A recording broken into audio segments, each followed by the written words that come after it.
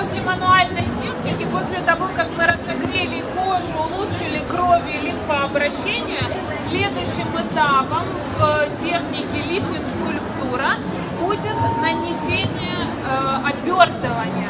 В скин-клиник есть ряд препаратов для этого. Сейчас мы будем использовать антицеллюлитный гель, который также в своем составе содержит 15 липолитики. И его мы будем э, наносить под пленку.